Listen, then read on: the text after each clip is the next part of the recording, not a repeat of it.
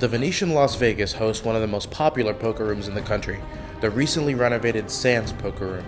Currently, the Venetian is in the middle of its gigantic summer tournament series, the Deep Stack Extravaganza 3, which features more than 200 exciting events.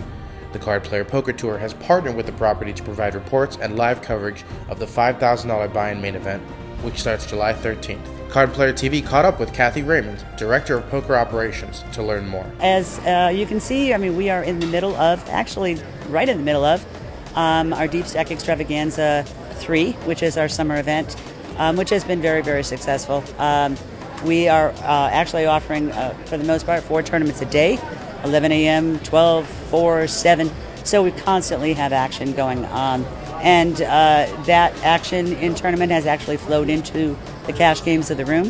Um, and, you know, if players are looking for where they can get good cash action, um, there was, a, I believe it was weekend before last, we had all 59 tables in the room going in cash uh, for two days straight. Plus, we did spread some cash games over in Palazzo.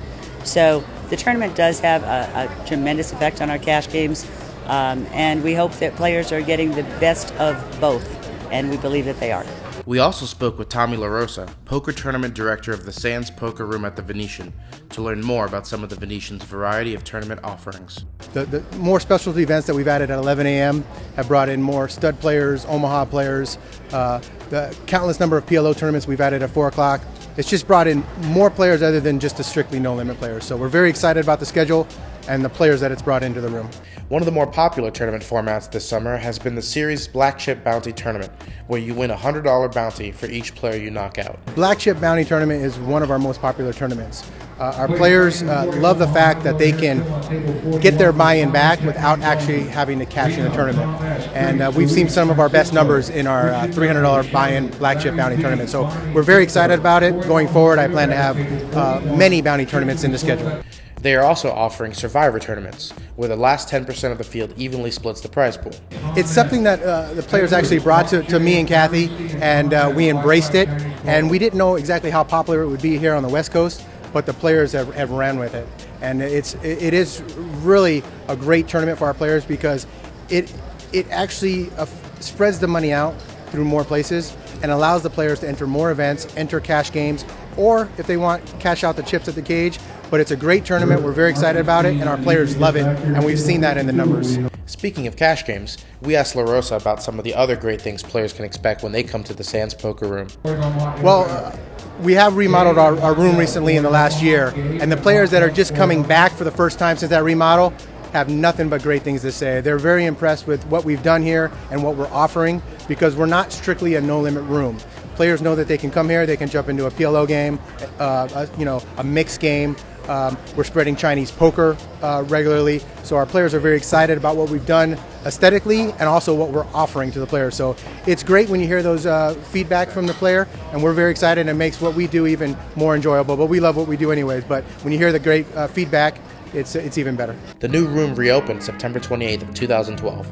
Raymond told us how the remodel came about. Um, it was, uh, we knew that we needed more tables. Uh, we were really maxing out at the number of tables that we had and have done so as well at the 59 table room lately. We wanted to make sure that this was really the poker player's room, that uh, there was enough space, that there was enough amenities um, to be able to offer five diamond poker experience.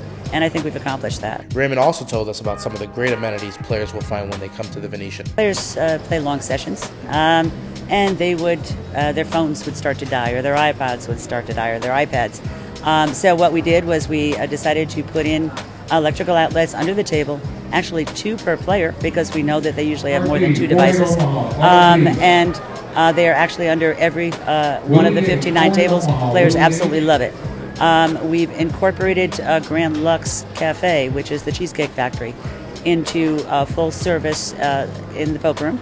Um, that is a full menu. I believe it's something like 10 pages long. Um, every type of food that you can absolutely want is offered 24 7 and served by Grand Lux Cafe in the poker room.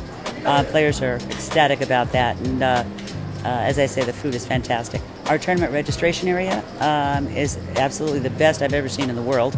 Um, it's full of four or five cashier spots, um, along with a place to get your player's card at the same time. We do want to make sure that players um, have a, a very uh, even flow of experience. That there is nothing that is out of whack for them. So. Um, we, we listen to the players all the time, and we'll continue to listen. We'll continue to improve. Um, right now, I believe, and I've been told by many, many players, that this is the top poker room in the world. Um, and um, I tend to agree with them. But we never stop looking for ways to make it better, to make the poker experience the top of the industry. One of the ways they are doing that is through the Great Players Card program, which allows players to use their points for more than just the incredible restaurants in the casino. Basically, the, the points that you do earn in cash games can be used for the buy in portion of uh, tournament play, which is uh, unlike, I believe, anyone else um, in the city.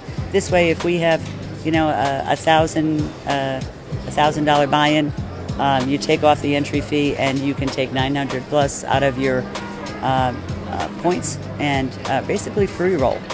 And um, we've had many, many, many players. I think we're up at uh, close to a quarter of a million dollars in points that have been used towards tournament play. So that proves that that's a success as well. And again, this is something that I think is good for the players. Um, you know, they want to be able to get the best bang for their buck, as well as experiencing this kind of atmosphere. So we try and combine both.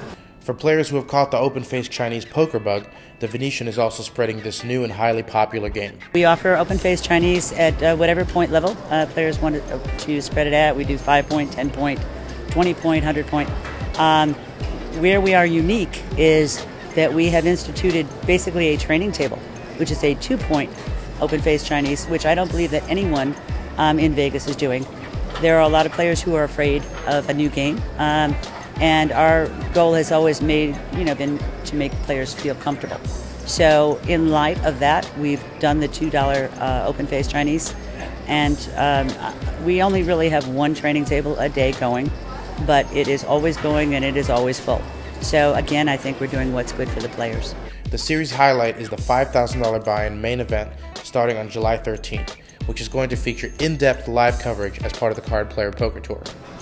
Well, um, the main event is July 13th and 14th. We will offer $600 super satellites the day before at 12, 4, and 8 o'clock.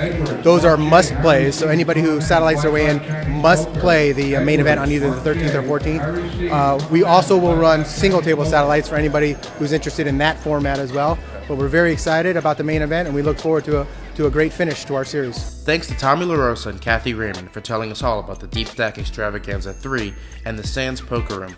And thank you for tuning into this video right here on Card Player TV.